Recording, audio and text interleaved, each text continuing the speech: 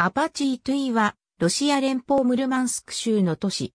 アパチートゥイの工場と、ヒビヌイ山脈ヒビヌイ山脈を背景にしたアパチートゥイの町並み北極海に突き出たコラ半島の西部に位置する。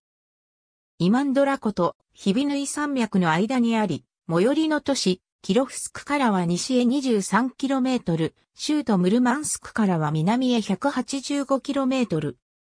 2002年の国勢調査では人口は64,405人で、州内で人口第2位の都市。アパチートゥイは1935年に鉱山集落として建設され、1966年に市の地位を得た。市名はこの地域でふんだんに取れる鉱物の一つ、臨海石にちなむ。臨海石は化学肥料の原料に使用される。